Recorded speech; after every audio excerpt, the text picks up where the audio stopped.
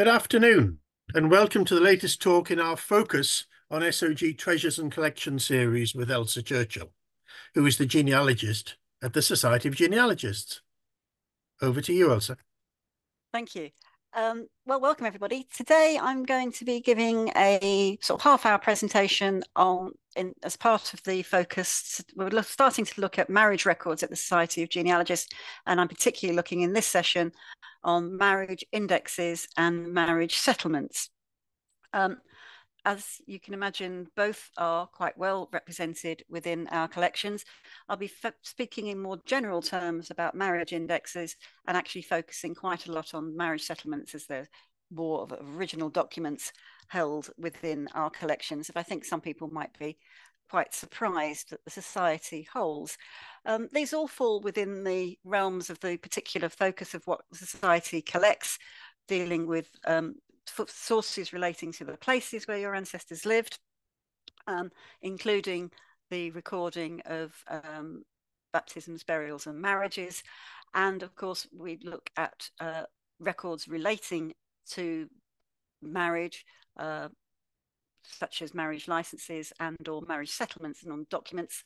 Uh, also, we have uh, material relating to what your ancestors did in their lives and uh, re- looking also at what research has been done on your family before. So these are the main focuses of what the Society collects. And in addition to transcripts, indexes, finding aids, secondary sources, we also uh, uh, end up as an archive of original documents for um, all sorts of reasons, as I'll explain later on. So let's have a just an idea about the concept of the marriage index, because we live in a world now where we, we kind of expect, um, particularly church registers recording baptisms, marriages, and burials, which are held in local record offices, to be available in a digital form, having been transcribed and indexed um, online through the major genealogy um, websites, often with an image of the original uh, en- uh, record so that you can, can check that, that that you've got the right entry and if there's any more um, clues within the record itself that doesn't fit into the little of particular fields and boxes of transcriptions and indexes in databases. A lot of the um, transcription and creating of indexes to records, particularly marriages, came from what we would now almost call crowdsourcing projects from the genealogical community itself. Often, a local family history society would have teams of volunteers looking at the at the records, maybe at the record, working as a project at the record office, and the first um, of the sort of crowdsourcing projects to index records uh, which should really come into into the fore, I think, from the um, late 80s through the 90s and the early 2000s, um, was to look at records uh, which record, recorded the marriages of people from marriage registers, the bride and the groom, hopefully the witnesses, um, and indeed to act as a finding aid for an event that might have taken place in in either the groom's parish or the bride's parish, or indeed elsewhere if they'd had a special license. Um, but again, it was an idea of just leading you to find the documentation. And as the years went on, pretty much every county ended up with a marriage index, um, often uh, published by that society, first in perhaps uh, transcripts or typescripts that they might give a copy to the record office where they'd worked, so often to the Family History Society and maybe a local library, for example. And the idea being was that they were very contained, often within the county that the Family History Society um, represented. And they would work their way through the registers, often reflecting the um, the way that the registers themselves were, were arranged. So you might find they would record first all the registers in the uh, uh, marriages recorded in the registers from, for example, 1812 to 1837. Uh, or the registers in the printed uh, uh formats uh, from the the way that the, the registers were arranged. Then you'd have perhaps a break from the period before 1812 going back to 1754 registers marriage registers would be in a slightly different format perhaps. And then uh, from the earliest years from possibly from the introduction to uh, uh, of parish registers from 1538 going up to 1753 where the introduction of Hardwicke's Marriage Act had changed what marriage registers looked like. And so often a, a county marriage index might might be running through the whole period from uh, 1538 uh, through to 1837 um, or in these sort of defined yearly chunks and they might publish them over a period of years um, and in different formats as i said they might come in a uh, in typescripts. Uh, then they might think use the next whizzy technology, which might be a microfiche um, or the or microfilm of just to save space. And then they might have used uh, electronic or digital form, perhaps publishing the database on a CD, and then ultimately publishing maybe their own database themselves on their own website, or perhaps working then in collaboration with some of the major genealogy websites to donate that index uh, to help people working online. So as that time goes on, often they very generously donated a copy to the Society of Genealogists. And the main sort of indication of what marriage indexes had been compiled by local family history societies and or individuals who perhaps might have done it as a labour of love rather than working um, as a group project was always kept up to date by um, a, an appropriate Gibson guide. Um, and the last edition that came out was Marriage Indexes for Family Historians uh, by Jeremy Gibson and co. Um, came out some years ago in, in 2008, by which time most societies had sort of almost finished their finished their projects and were starting to publish online, making them much more easily accessible. And so, but um, but again, this is the guide to say uh, what there is. It was arranged county by county, um, explaining, you know, what how the what the society had worked. Uh, perhaps sometimes telling you what they had used, whether it had been from local parish registers or whether they had used uh, bishops' transcripts as supplementary records, uh, etc. And as they were published, the Society of Genealogists uh, either gave them through donation or always went out of their way to buy each of these publications. And so you can use the Society's catalogue to identify what marriage indexes we have in the library. It'll tell you what format it's in.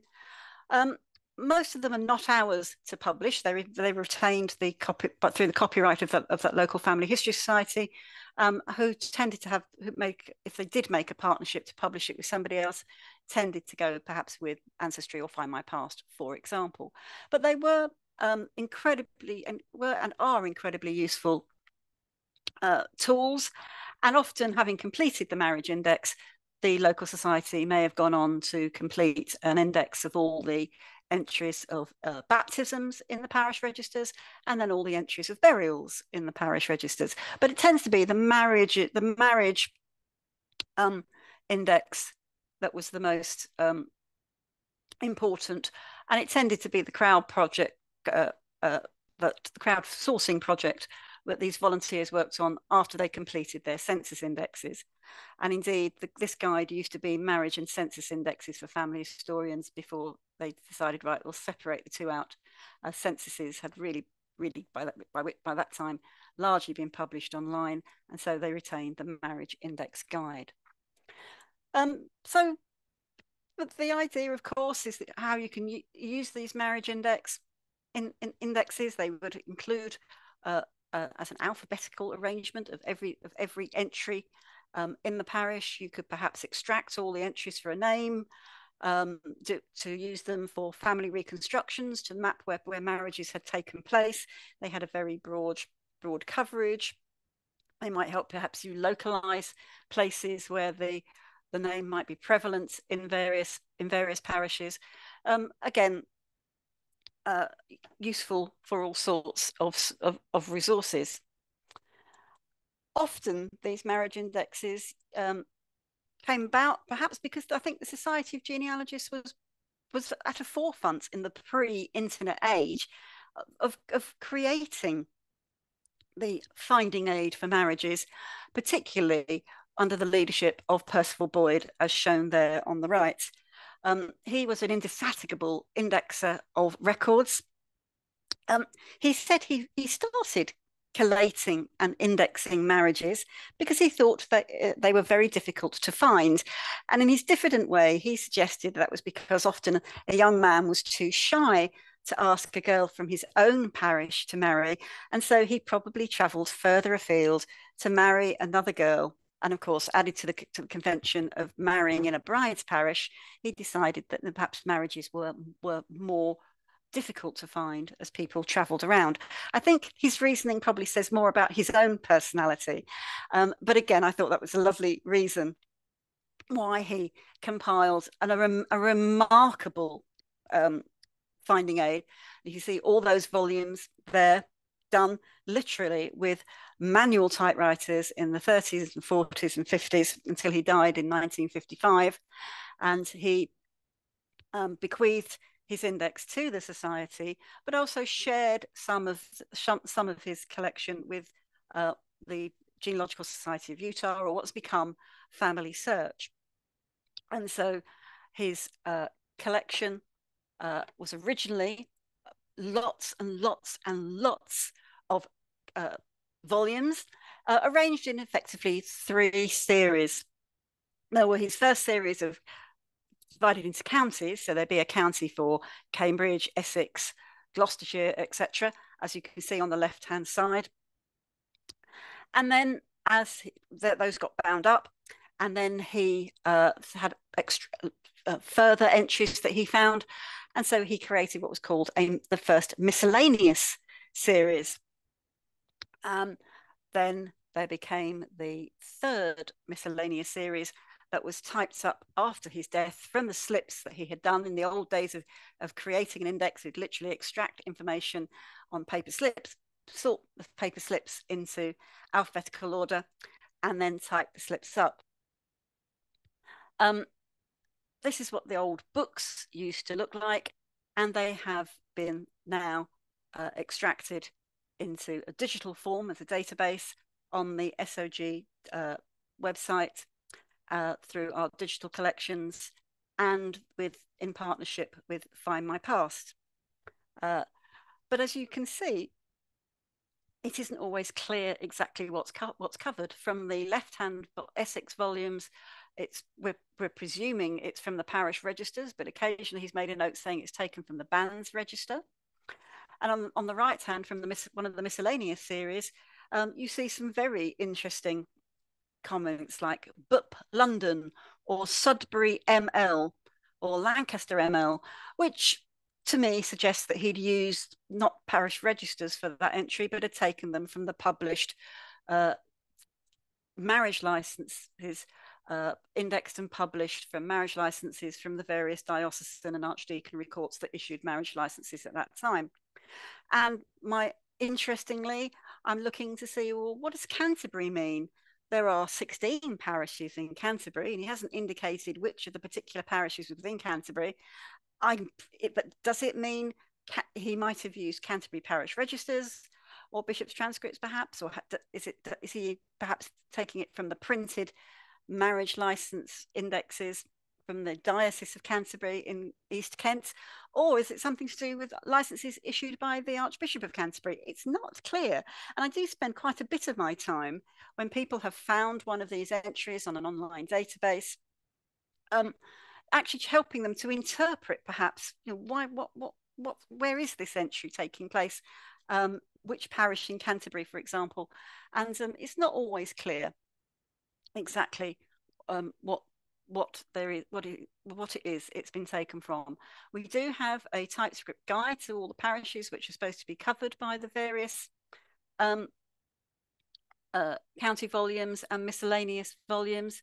And indeed our cat our library catalogue does try and give an indication if a particular parish is covered in boyd's marriage index. After his death the remaining slips were typed up by family search. And so the the third series of bound volumes came back to the society, but there is a bit of an ambiguity about ownership of that volume. And so we have only published the um, first and second miscellaneous series, not the third series. Um, because Family Search were involved as his, um, after, after his death, you will find uh, that there are uh, parts of Boyd's Marriage Index, including the third miscellaneous series on Family Search. So again, Boyd's Marriage Index is at the Society of Genealogists, but it has, over the years, it's had its slight complications. Well, it eventually became indexed on SOG Data Online and on Find My Past. And as we are now moving towards a new platform to um, add our uh, uh, digital data on called SOG Explore, Boyd's the entries from Boyd's Marriage Index, which are on SOG Data Online, have been have migrated over to um, SOG Data Explore.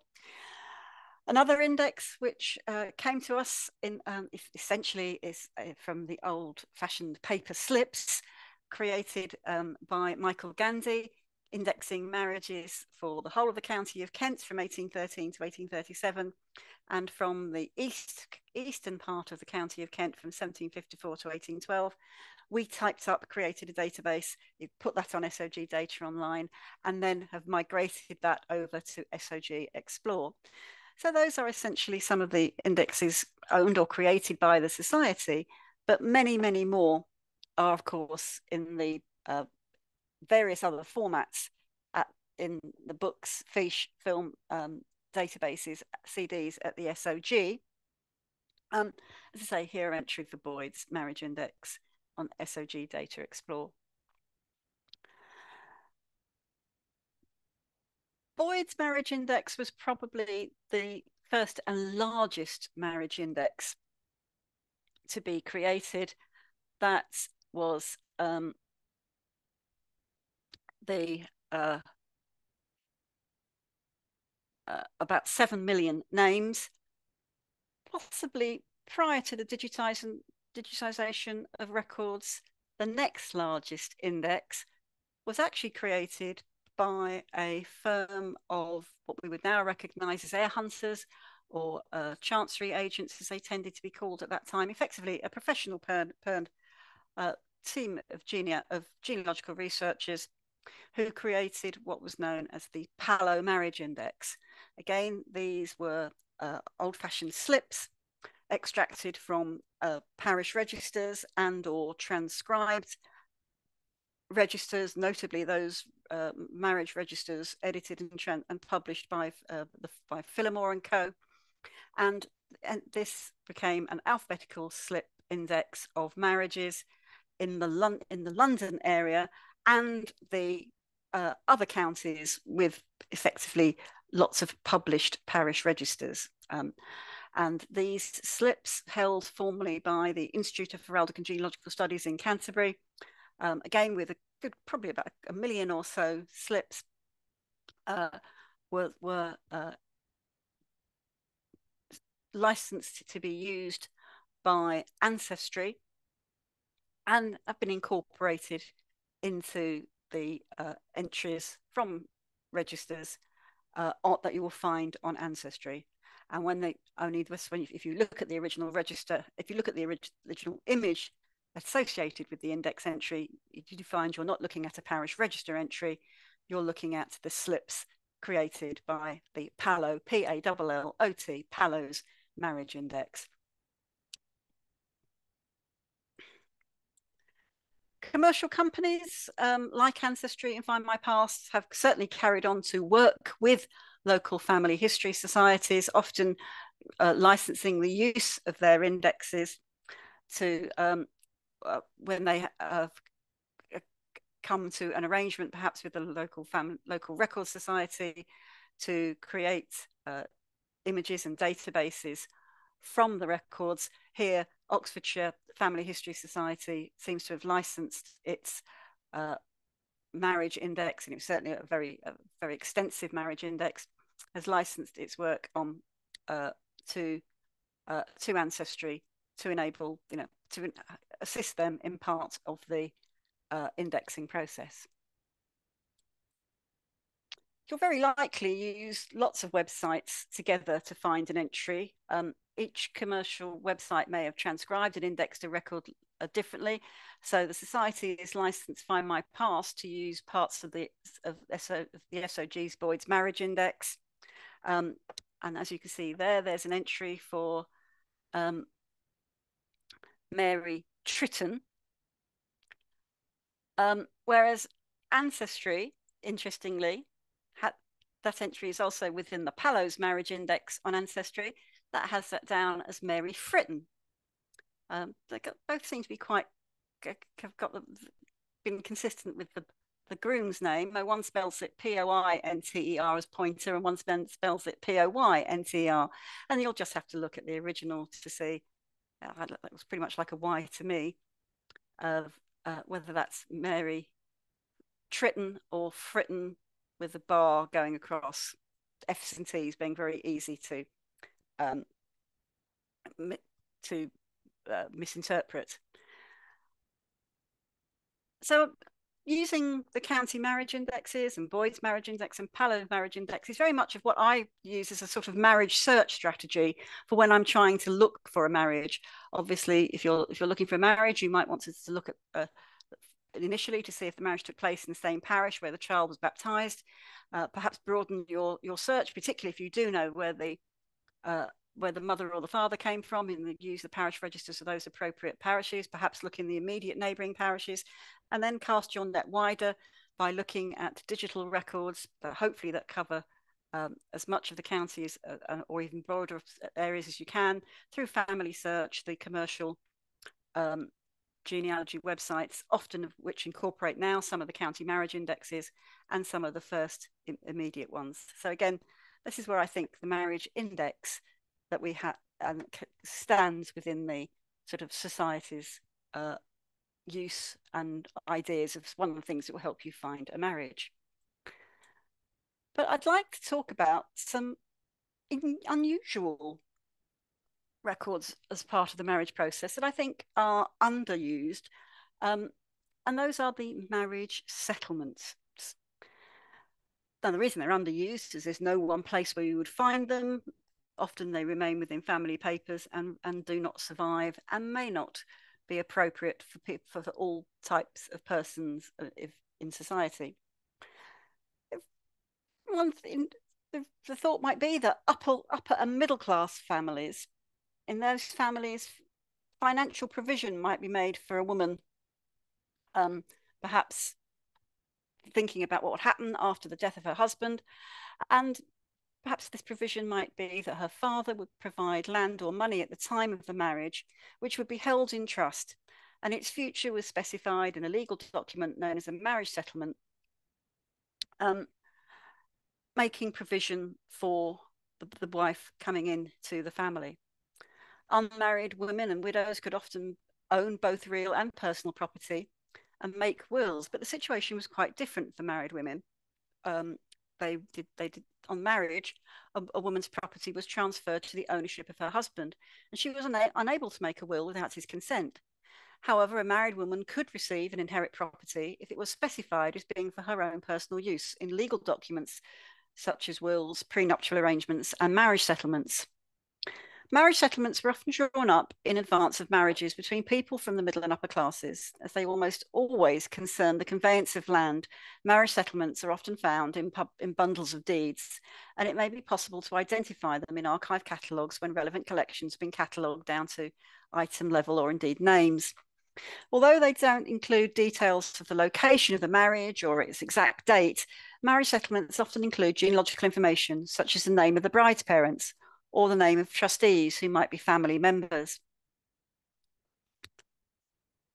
Primogeniture, entails, and marriage settlements combine with unpredictable lives, such as the death of a childless heir or all surviving children being daughters, that could have a, a significant and sometimes sudden effect on the prosperity of individual and families.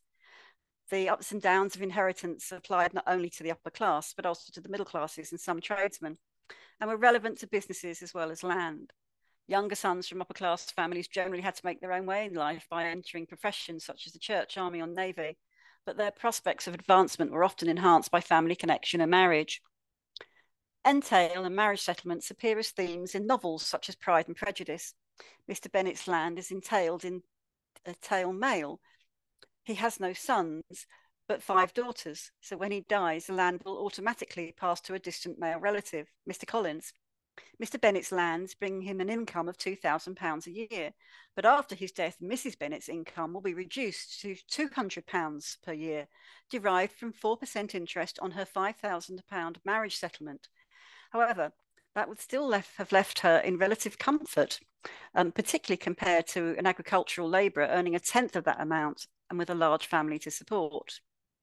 Now, for various reasons, the Society of Genealogists has accumulated all sorts of original deeds and documents, often including marriage settlements. These have come as parts of collections of family papers, research notes, and miscellaneous documents donated over the years, and often via the British Record Association, an, an institution that advises and liaises with solicitors when they come to clear deed boxes and papers, etc. This means that marriage settlements at the Society are scattered in various places. We've no uniform list of them all, and they can be tricky to find. But that's not particularly unusual, and I think reflects the situation of finding these documents outside the Society too.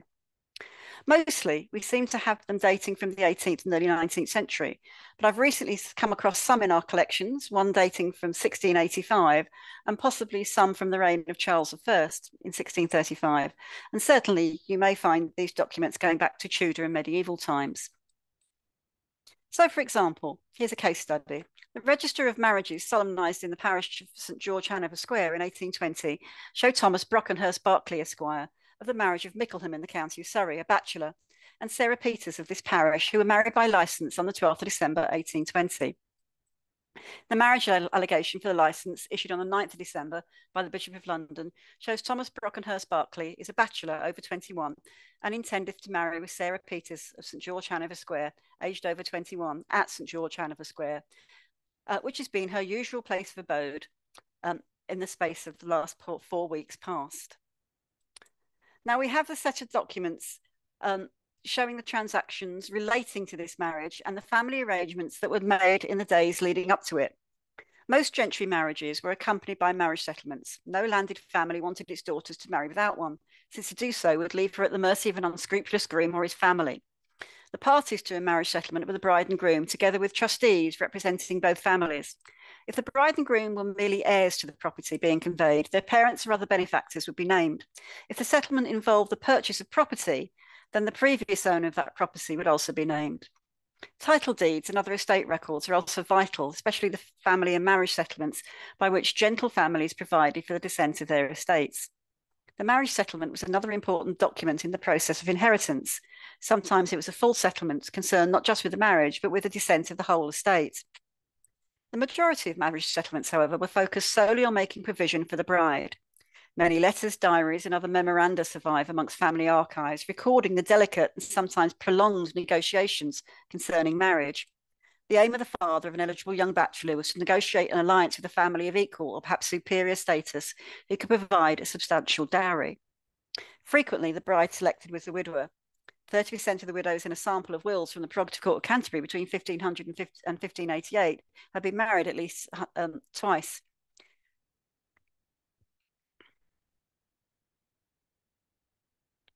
If you're searching for gentry marriages and entries in parish registers, you may have to search far distance places, as we were looking at with the marriage indexes, for example.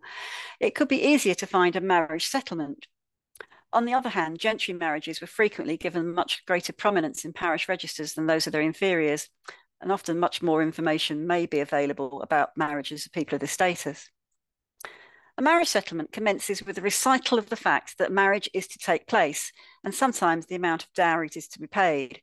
The fact that a dowry isn't mentioned doesn't necessarily mean that one wasn't paid. The property mentioned in, in a marriage settlement did not necessarily include the entire estate or inheritance of the groom, However, it was, in li- it was likely to include all the bride's property. So here we have a settlement previous to the marriage of Thomas uh, Brocklehurst uh, Berkeley, Esquire, and Miss Sarah Peters, um, of two thousand pounds worth of consols and five hundred five uh, thousand pounds under agreement In law, everything the bride owned became her husband's property on marriage. The property in the settlement would be assigned to trustees for the joint use of husband and wife or the survivors of them, and for their unborn children, or in the absence of the latter, to the right heirs. The property involved in a marriage settlement was not necessarily land. Sarah Peters bought £20,000 in consols to her marriage with, with Thomas Brocklehurst Berkeley in 1820, and her husband's life was to be insured for £5,000. A jointure of £600 was granted by Thomas Brocklehurst Berkeley to Sarah Peters, his wife, and her trustees. A jointure was property granted to the wife for, life, for, for life, the grant taking effect on the death of her husband. Under common law, all widows had the right to one third of their husband's lands as dower. However, a jointure provided by a marriage settlement provided greater certainty and more flexibility than the dower provided by common law. If a jointure was provided, then the right to dower lapsed there's quite a few memorandas and extra notes within these deeds, including a memoranda of the original settlement showing how the consols um, to that value of £20,000 was subsequently sold and the money was reinvested. And there's another memoranda within the deeds showing that the life insurance on her husband's life was paid up in 1866 when she received £9,000, 800, um, uh, 875 pounds, I think that's what it was.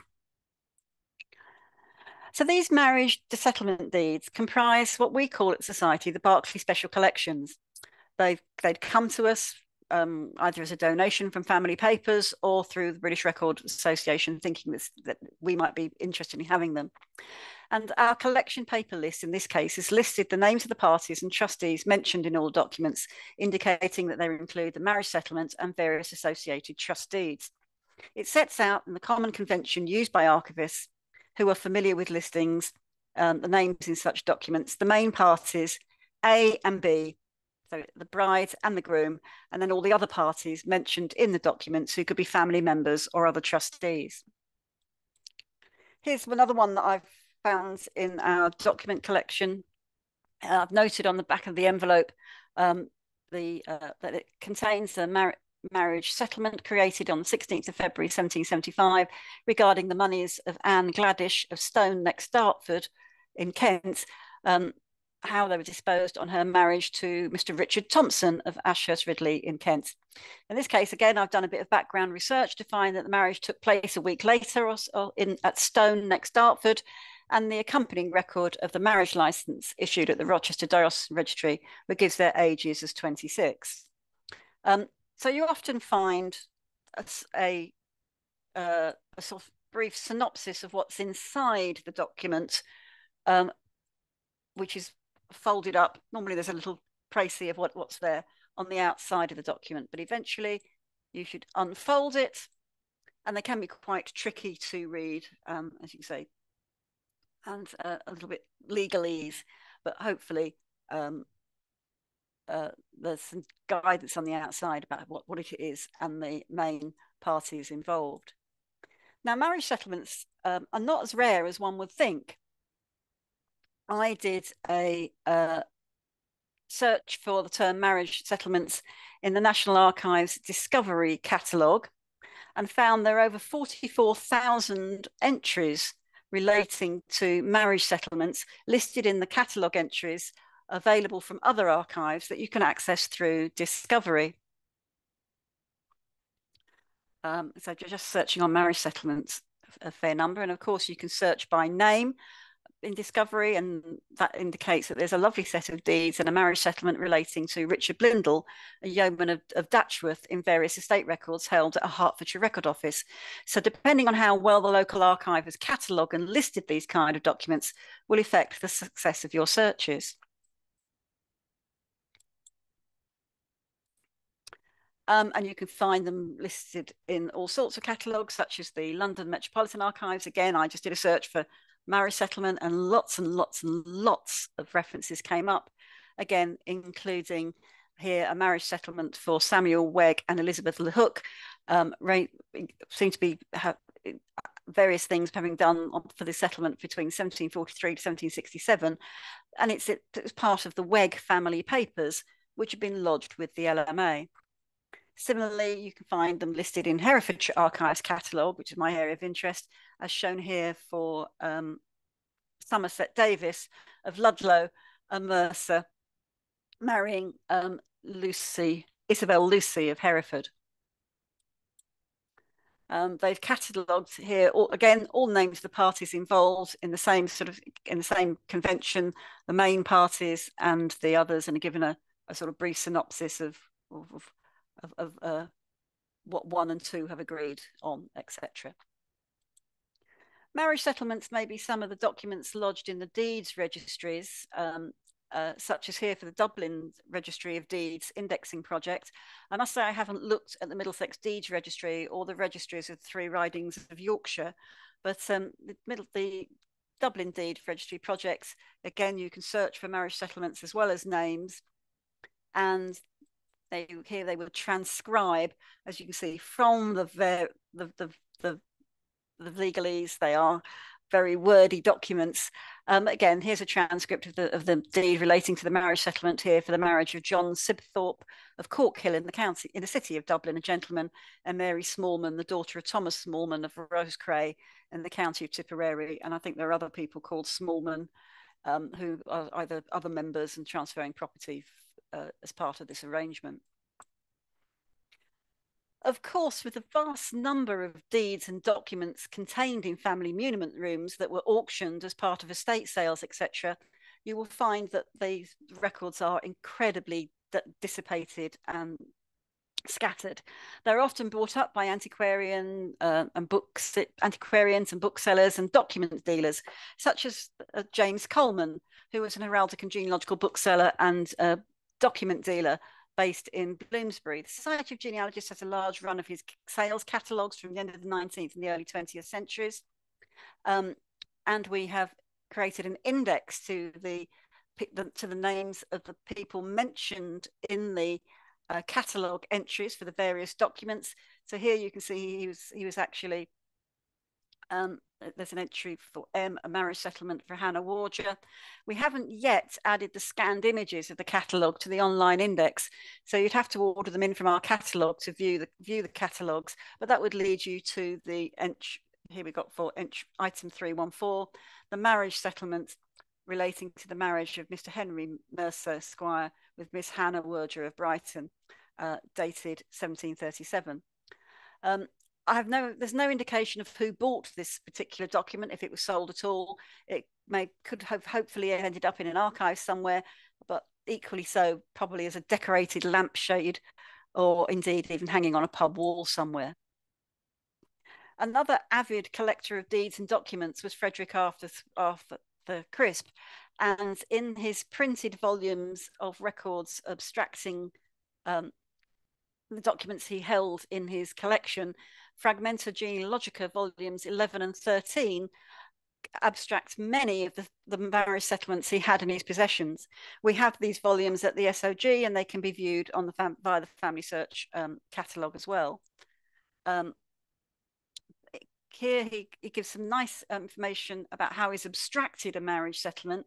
He's made an abstraction of the records, named the names, uh, the provisions and the uh, parties concerned and drawn it up into little into a little family tree. Look seeing for the you know the the the useful genealogical information that you can glean from these documents. And sometimes they can get quite complicated. There'll be several other mem family members mentioned. And in quite a lot of the cases he's gone on to establish when the marriage itself took place as well in addition to the search pathways which lead you to the library catalogue and the Society of Genealogists digital collections, you can find other catalogues and lists, particularly from our archive collection, on the library pages of our websites, where you'll find what we call the collection guides. And one of the collection guides is to the archive collections. And this um, are the, the listings for our document collection, topographical collections, roll pedigrees, and special collections. Um, so, for example, they'll give you the listing of the names in the thousands of roll pedigrees um, that we hold. Um, we are publishing them online, but uh, there's many thousands still to go before that's complete. The document collection has thousands of boxes of miscellaneous manuscript research notes arranged in surname, and eventually you, you may find that you know there are settlement documents within those. We have the uh, there is a surname list in the archive collection of the names represented there, but the document collection list is just a surname list that you can find through the document collection archive um, lists to the document collection, surname index, topographical collections, and the uh, the small and special collections from D to Z. A to D will be going on to a separate catalogue very shortly. The special collections are usually the work of a genealogist looking at lots of families, so they haven't been split up by surname. We've kept them to as an integrity. Um, within them, they do have uh, marriage settlements, such as the Hughes Lloyd collection, uh, the work of the, uh, of the genealogist looking at the Hughes Lloyd family, uh, extracting within that are estate indentures, marriage settlements, and, and other family property records um, including a marriage settlement for Edward Lloyd and Dorothy Hughes, presumably the couple that that formed you know, the, the, the, the family that became the Hughes Lloyd family. And the Colthurst Special Collection, again, uh, has manuscripts contain relating to the family property and rentals and estates, and a draft marriage settlement for, for uh, a family member, Catherine Colthurst, to John Pine. the topographical collection that you can that you can look at um, is arranged county by county. Um, I can actually search search across those those PDFs of those topographical lists and pull out anything that was for, for marriage settlements. And I've identified within each of these uh, county lists that they have quite a lot of marriage settlements filed effectively by the parish rather than the rather than within the family papers or surname collections. So, for example, for the Kent box, for the documents relating to Shoreham in 1768, this um, refers to, a, it has a marriage settlement that refers to three houses in uh, on the street in Shoreham, uh, uh, uh, settled by Harry Goodyear of Horsham upon his wife Elizabeth Humphrey his intended wife rather, and mentioning other family people mentioned in in the transfer of that property. But in this case, we've we've sort of filed it uh, in relation to the place rather than the, the names involved. Um, the document collection lists are just only tell you that there's something related to to the surname in a particular uh, envelope in the document collection of miscellaneous names arranged by surname.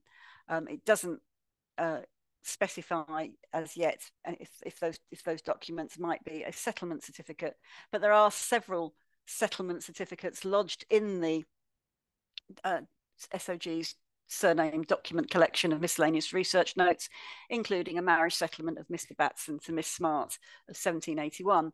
And again, I've identified the couple, found the marriage um, entry and the license. Um, and again, showing all sides of this story and marriage practice in the mid 18th century. If you want to read up on the legal side of marriage settlements, which I really have, haven't looked at at all, then Lloyd Bonfield's book, Marriage Settlement 1601 to 1740, where he uses um, about 300 uh, marriage settlement documents from Kent and, and Northamptonshire as his um, basis of his doctor, doctor, doctoral study is incredibly detailed. But I think from the point of view of a genealogist, you might want to look at the books uh, tracing your Georgian ancestors your, uh, and your aristocratic ancestors by um, uh, Pen and Sword books, or the Society of Genealogists own My Ancestor Was a Gentleman. I think that it's commonly thought that these, these are the status of families that normally have marriage settlements. However, I think from we've seen that they certainly can come down to artisan and tradesman and merchant level level. And so I think probably not the documents you're looking for if you have pauper agricultural labourers, but if you have middle class artisans, it's worth looking around. Um, the only problem is you'll be looking in all sorts of places, both at the society and elsewhere. Um, I've run on a little bit, I think. Uh, I'm going to stop sharing there and uh, take some questions briefly towards the end.